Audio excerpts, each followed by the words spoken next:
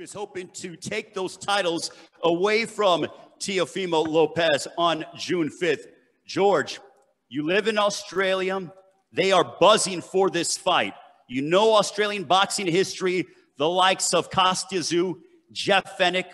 In your mind, does a win over Teofimo Lopez on June 5th make you the greatest Australian boxer of all time? Yeah, definitely. This will pull me to the greatest ever in Australian boxing. But um, you know, whatever comes after that, you know, is, is to come. Now, my focus is beating this kid and taking his belts. I'm a little bit upset because he didn't bring all the other belts too. I thought this is the closest you're gonna get to these. Yeah. Well, you should have brought them all, man. I had to bring because the IBF because you got I'm to take them all. Huh? I'm gonna take them all off you. keep I love laughing. I love it. I love it. So, Teofimo, there's some animosity, obviously, between you and George. Where does that stem from? Is it just two prize fighters who want to go ahead and compete for this amazing, the, the gold and everything else? Or is there actual dislike between you two? Okay. Uh, honestly, I, what I would like to say is first, thank God for, for being here. And I want to thank uh, Triller. I want to thank Fight Club. And I just want to thank everyone that's here today. Uh, going back to that, honestly, um, how I look at it is like this, man. This is someone that's in front of me to get, and he's in my way at the moment, and I gotta just knock him. I gotta move him to the side and just keep moving forward to to the next guys that everybody wants to see me fight next. Teofimo, you're fighting here on Triller Fight Club. We are very happy to have you and George as well. But how did you end up here? You know something? Revenge is a dish best served cold. Okay. So you want to uh, further explain that? I think my guys on the other side, I think they know what I mean. Okay.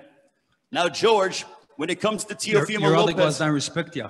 Your other guys don't respect you. But you know what? Triller came and respected you. They put up the money. That's what you're talking about. Just well, yeah, tell everyone about your promoter, not giving the respect. It's not really the promoter's talk. It's more so of right now we have a hell of a platform. Triller. They're doing a hell of a job and they know what they're doing and they know what they bring to the table. It's a whole new um, it's a whole new era for the for the modern day of boxing. So I think this is a great thing for for all of us, and more so, I think that it is great for boxing.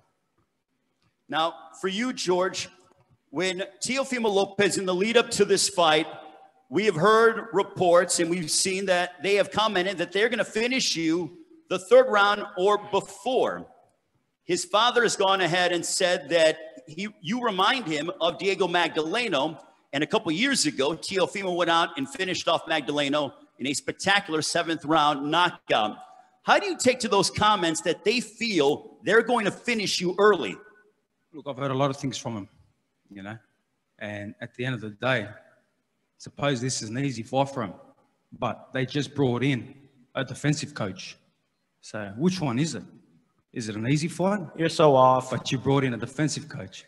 Sorry, so man. It's, it's, it's, it's pretty, uh, it's sad because they had a guy in their, in their team that done everything for him, that set everything up for him. They had all the game plans and they just brushed him to the side. I'm loyal. I got my team. I know what I'm about. And if they think it's going to be three, no problem. Prepare for three. But I'm prepared for every single round.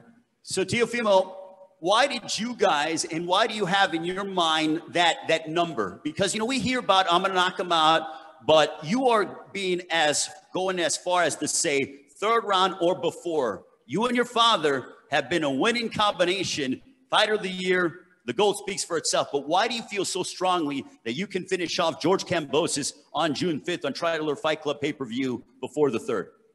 I'm not at my prime yet. However, I got to make a statement. You know what I mean? I have to make a statement just like he is and what he's going to bring to the table come fight night. I've been in the big leagues. I've been in the guys that, that have the experience, the amount of work. But this, at the end of the day, I don't overlook nobody that I face. You know what I mean? Whether he wants to stay defensive coach, I've been, you know what I mean? All that we could push to the side. Me and my father, dynamic duo. About 20 years in the game together. You know, and I'm 23.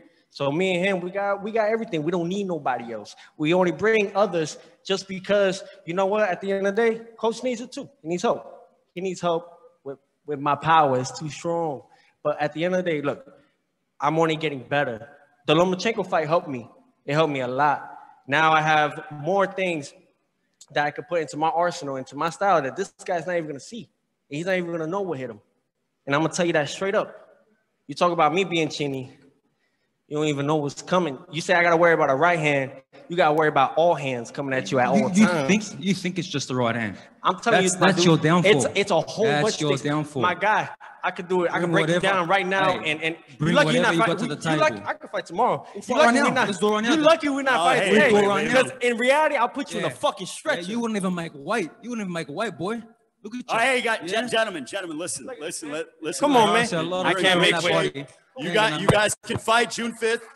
June 5th, Get it off. June 5th, can't gentlemen. get it off. Let's let's get no no no hey, come on come on come on come on come on come on come on come on come on do it right do June fifth you get it June fifth June fifth you don't get paid to fight now you get paid to fight June been. fifth I'm gonna tell you something, my man. you you get paid boy. fight gonna be a fucking example of why boy. I'm gonna put everybody on their ass. you And you know what? I'm gonna put my foot up your neck, my taking your, I'm taking all your belts. All right. all your belts. Yo, you should be thanking me, my guy. You should be thanking me. Over. You should be All thanking right. me. You should be thanking Jer- Jerry- You should be thanking Jerry- me. Undisputed What did you lightweight do? What did you world do? champion. What did you Question. And that right there. Hold Hey, on, guys, hold on. guys, My guys. team got this far for you, boy.